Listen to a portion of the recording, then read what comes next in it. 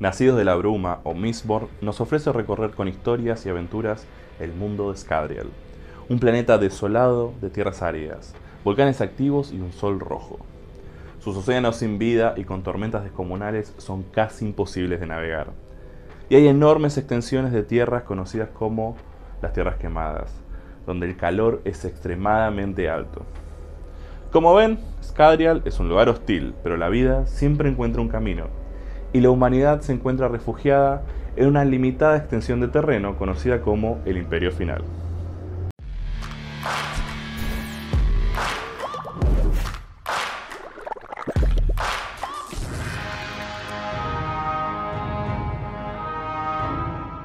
La vida dentro del Imperio Final tampoco es fácil. El gobierno es un régimen militar brutal dirigido por un rey dios llamado simplemente Lord Legislador. Su ejército recorre el imperio con puño de hierro, tratando al pueblo como meros sirvientes que tienen que seguir las leyes o perecer, o enfrentar un destino aún peor. Es en este setting adverso y lleno de peligros en el cual nos vamos a sumergir para jugar rolito. Este juego está basado en la saga Nacidos de la Bruma, que al día de la fecha cuenta con 7 libros escritos por Brandon Sanderson, un muy reconocido escritor de fantasía que además es fan de los juegos de rol. El manual nos ofrece un montón de lore, pero lo hace de una manera muy amena. Si bien vamos a encontrar algunas historias que nos permiten adentrarnos en el mundo, también es muy claro que los editores acomodaron la información más importante de una manera simple, con resúmenes de dos o tres párrafos sobre lugares, historias o monstruos, para que sea un libro de lectura fácil y rápido. Además de cómo está estructurado el manual, en cuanto a reglas y fantasía, también tenemos una enorme cantidad de agregados del autor de los libros, titulados como The Brandon. En estos pequeños cuadros vemos cómo el escritor estuvo activo durante la edición del libro, ayudando a explicar las intenciones originales con las diferentes mecánicas o narrativas de cada sección. Por ejemplo, en el inicio de la explicación de combate, tenemos uno de estos recuadros que contiene la frase quien sea que narra debería fomentar las acciones asombrosas y recompensar cuando los personajes las hagan funcionar. La creación de personajes o héroes tiene algo realmente lindo y es que hay que responder preguntas. Un consejo muy común es que para crear y conocer a tu personaje te cuestiones cosas sobre él. Pero en Mistborn las preguntas están directamente incluidas en las mecánicas de creación, así que al final de esta deberíamos tener un conocimiento del personaje bastante sólido. Lo primero que hay que hacer es una suerte de sesión cero donde se sientan a charlar de algo sumamente importante. El grupo. Así es. Lo primero que se establece está relacionado directamente con el conjunto de personajes y sus intenciones. Hay que resolver tres cuestiones. La causa común del grupo. ¿Por qué luchan? ¿Cuál es el objetivo principal del grupo? ¿Qué o quiénes interponen entre ustedes y su causa? ¿Y cuál es el método principal del grupo? ¿Cómo piensan lograrlo? El manual desarrolla un poco más cada pregunta, pero realmente lo que sucede acá es que antes de empezar a jugar ya hay una razón por la cual los personajes se conocen y saben que tienen que trabajar juntos. Si bien esto es algo flexible y puede haber todo tipo de traiciones y planes, aliviana bastante la tarea de quien dirija y ayuda a quienes juegan a organizarse. Luego vamos a la creación individual del personaje eligiendo un concepto del mismo. Algo simple y rápido en lo cual te vas a basar para crearlo. Puede ser un soldado rebelde, o un mercader ambicioso, o un noble que detesta el régimen. Continuamos con 10 preguntas, un método genial para conocer el personaje. A medida que las respondas, vamos a conocer los motivos, rasgos, intenciones, poderes, pasado y otros detalles importantísimos del personaje. Cada pregunta tiene un pequeño párrafo desarrollando un poco más, ejemplos y ayudas para que sea más fácil elaborar todo dentro del mundo de Mistborn. Esta sección me encantó. Las preguntas son tan simples y al punto que se pueden usar en cualquier creación de personajes de cualquier juego. Con todo el conocimiento que conseguimos de esta persona a la cual vamos a interpretar, vamos a anotar los números que necesitamos para representarla mejor.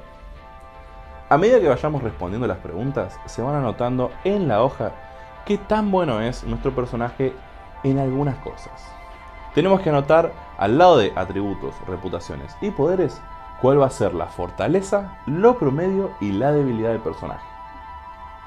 Con esto vamos a poder gastar los puntos. Los atributos están subdivididos en tres. Físico para velocidad, fuerza, agilidad y aguante. Encanto para carisma, habilidad social, apariencia y liderazgo. E ingenio para inteligencia, perspicacia y conocimiento. Las reputaciones también están subdivididas en tres.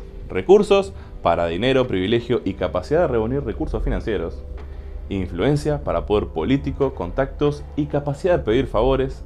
Y espíritu para el destino, conexión espiritual y la habilidad para sobrevivir en contra de las probabilidades. Vas a tener la misma cantidad de puntos para atributos y reputaciones. Lo que sea fuerte va a tener 13 puntos.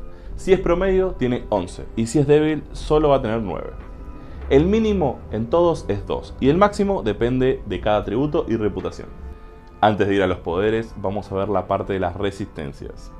Es la forma de medir la salud de tu personaje, tanto física como mental y social.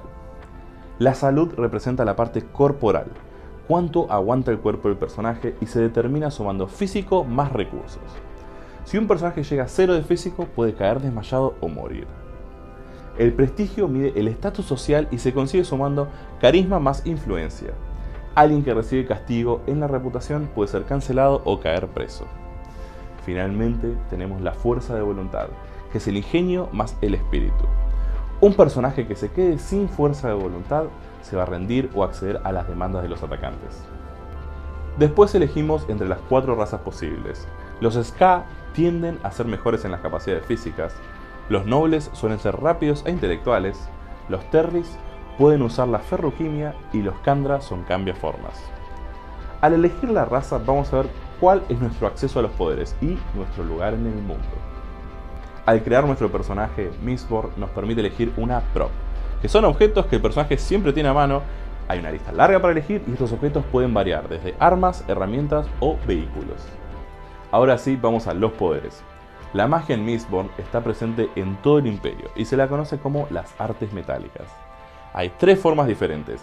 La alomancia, que es la capacidad de consumir metal para crear efectos mágicos, la ferroquimia, que nos permite almacenar magia en objetos, y la hemalurgia, que usa espinas de metal para darle habilidades mágicas a otras personas.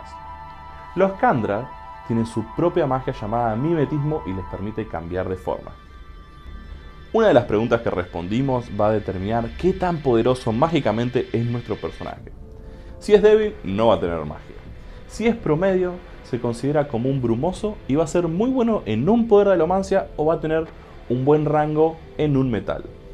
Si es fuerte, puede ser un nacido de la bruma o un guardador, con múltiples capacidades mágicas. Lo primero en que anotan es el nombre del poder, que suele ser el tipo de metal o metales de los cuales pueden sacar poderes. Después marcan qué tipo de arte metálica u otra magia pertenece el poder. El rango del poder depende qué tan fuertes sean con esa magia. Las cargas es la cantidad de metal al cual tiene acceso el personaje para poder usarlo. Y finalmente las maniobras van a ser los efectos que conseguimos por hacer magia. El efecto o maniobras mágicas que se pueden hacer depende del tipo de arte metálica y del metal que estemos usando. Esto está sumamente desarrollado en las novelas, así que en el manual están todas las mecánicas literales de cómo se usa cada metal para cada cosa.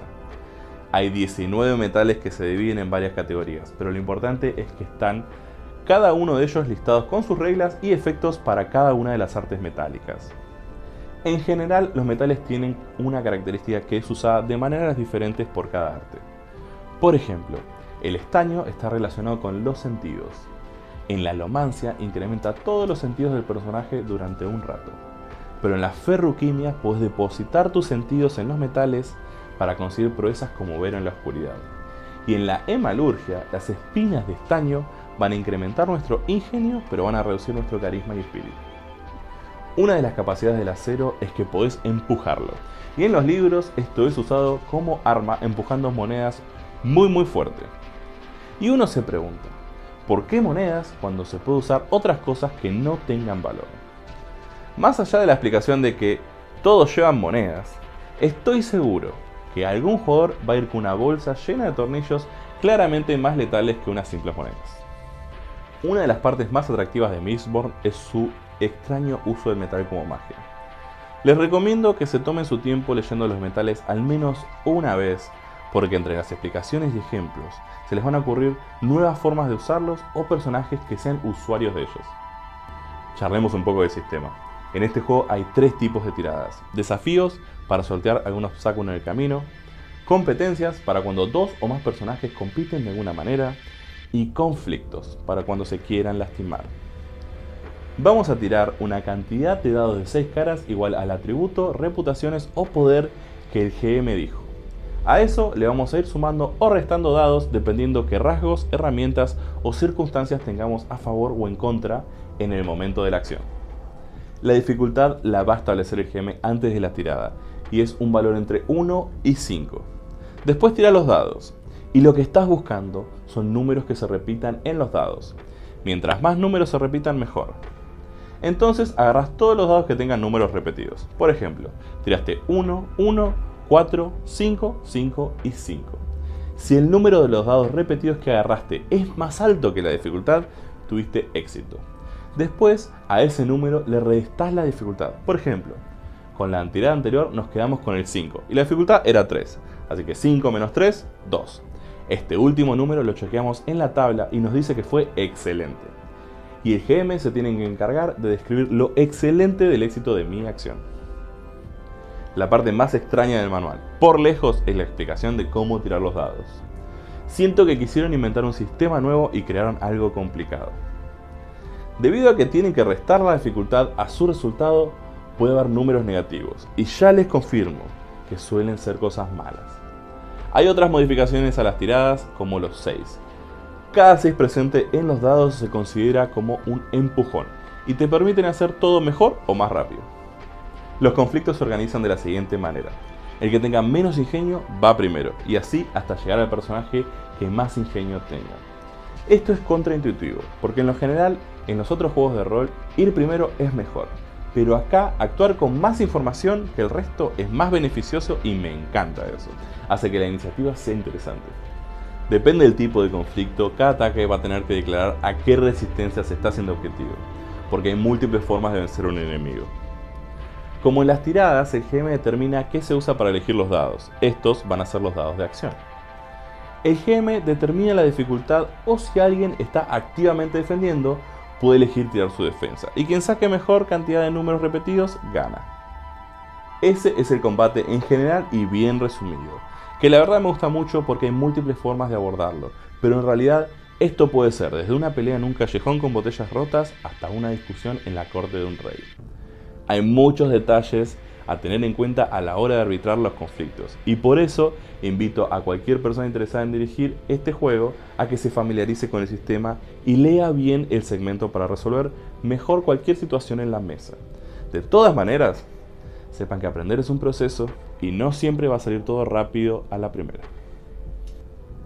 La sección para GMs me parece muy buena, porque primero separa tus responsabilidades en cuatro cosas bien claras colaborar con tus jugadores, porque esta es una actividad social y en equipo. Desafiar a los héroes, porque se forjan en las dificultades que superan. Crear emoción, concéntrate en que el grupo se mantenga interesado en la historia. Y recompensar el gran juego. En esos momentos donde todos estallan en risas o todos se sorprenden, es cuando deberías dar una recompensa. Algo que no vi en otros manuales de esta forma son tus derechos como GM. Vos también estás jugando no te olvides que estás jugando un juego, solo que de otra manera al resto de la mesa. Tenés derecho a rechazar cualquier cosa. Es importante que haya una realidad consensuada en toda la mesa, así la mesa es cómoda. Tenés el derecho a no tirar dados, porque tal vez el efecto dramático del fallo o el éxito es más importante. Tenés derecho a ignorar cualquier regla, no importa lo que esté escrito en el libro. Es su juego y pueden ignorar o modificar lo que ustedes quieran del manual. Tenés derecho a cambiar tu forma de pensar. Dirigir es aprender. Y a veces algo que hiciste al principio de la historia no cae bien después de jugar varias sesiones. Así que podés cambiarlos, con cuidado. Y finalmente, la importancia de la confianza. Son un grupo trabajando en contar una historia. Incluir las decisiones de los jugadores en todo momento confía en que ellos también quieren colaborar en el mundo. En general, como sistema narrativo me parece muy bueno e interesante, haciendo uso de reglas raras como tirar múltiples dados sacando el mismo número. Algo que tengo que destacar es lo amigable que es la lectura del libro. Está escrito de una manera muy simple y eso lo hace fácil de leer y entender. Me recuerda a manuales viejos con mucho texto y pocas imágenes, pero eso puede ser una cuestión de la edición o del año, ya que el juego se imprimió en el 2011. Con un setting tan establecido como este, creo que Mistborn tiene un potencial enorme de tener historias geniales. Si te gustó el video, dale un like y suscríbete al canal para ver nuestros videos sobre world building y aprender a crear mundos dignos del Cosmere. La pregunta del día es, ¿conocen Mistborn? ¿Les interesaría jugar o leer los libros? Personalmente me parece sumamente atractivo lo de la magia con metales. Hace que sea diferente el gusto de fantasía medieval, así que más que seguro que me gustaría jugar con alguien que conozca el setting. Dejen su respuesta en los comentarios que los vamos a estar leyendo. Queremos agradecerle a nuestros Patreons que nos permiten hacer todo este contenido. Javier, cultista de Zona Sur, su agradable vecino el hombre araña, Yuki, Dampa y Pérez Sinker. Nos vemos en el próximo video. Antes de ir a los bloopers, recuerden que darle like y compartir nuestros videos nos ayuda un montón. En la descripción van a tener los links para convertirse en Patreon si quieren ver los videos antes o pasar por nuestro cafecito. Ahora sí, vamos a los bloopers. Su ejército recorre el imperio... El imperio... Estaba pensando en la jungla de cristal. Todo mientras estaba leyendo estaba imaginándome árboles de cristal, liana. Me quedó liada la cosa de cristal, dale. La vida dentro del imperio final tampoco es fácil. El gobierno es un régimen militar brutal dirigido simplemente... Me adelanté, no, no, estaba leyendo, dale. Pero... Está bien, está bien, está bien. Eso me lo merezco. Todo te lo mereces, León. Todo te lo mereces. no te da tanto poder eso.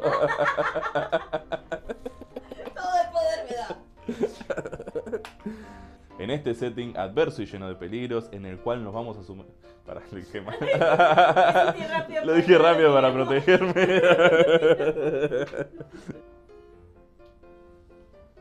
¿Para qué hacemos un guion? Lo salvé. Es que sí, pero no necesitarías salvarlo. ya sé, ya sé. Ya sé. ¿Qué decía ahí? No me acuerdo, pero era. ¡Lo acabo de leer! Era un sinónimo de lo que acabo de decir. Aplicar a cualquier creación de Sí. personaje. Estaba pensando en cualquier creación de personaje. No estaba, Pero no lo dijiste. pero no estaba leyendo, eso es lo que pasó. Estaba, Eso. estaba adivinando. No Bueno. O sea, la ventaja de esto es que no necesitas pensar. Ya sé, pero me cuesta tanto. ¡Ay! Me cuesta no pensar, por Dios, porque soy una mente tan espabilada. Cruel. Ay, me causo ternura.